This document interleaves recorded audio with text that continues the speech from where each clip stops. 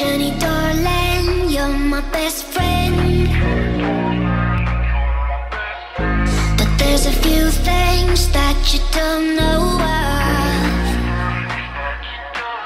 Why I borrow your lipstick so often.